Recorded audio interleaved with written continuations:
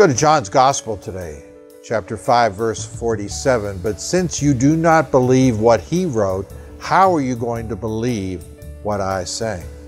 Now, the Old Testament, where Jesus was referring to, can be difficult to understand. But now that Jesus has come, we can look back and make sense of it. For most of it was describing or pointing to Jesus, his coming, and his mission.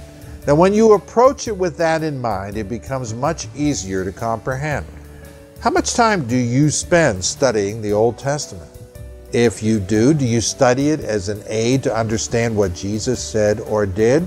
Now let's look at John chapter 5, verses 39 and 40, where Jesus said, You study the scriptures diligently because you think that in them you have eternal life.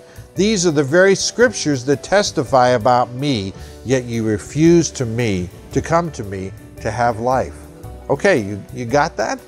You see that it's not, we don't put our faith in the scriptures, we put our faith in the God of the scriptures. And the story of the scriptures is Jesus. Once you get that, determine, dedicate yourself to be as proficient with the Old Testament as hopefully you are with the new. That's it for today. Come on back tomorrow. I'll be here. Hope you will be too.